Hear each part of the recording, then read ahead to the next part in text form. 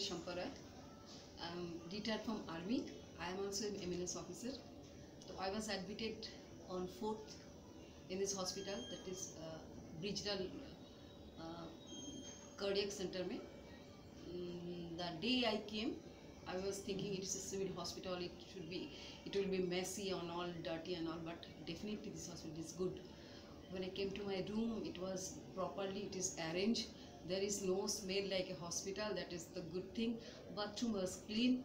Uh, it was uh, it was uh, really good. And the way they are serving the food and all is amazing. It is it is bahut uh, it is bahut badhiya.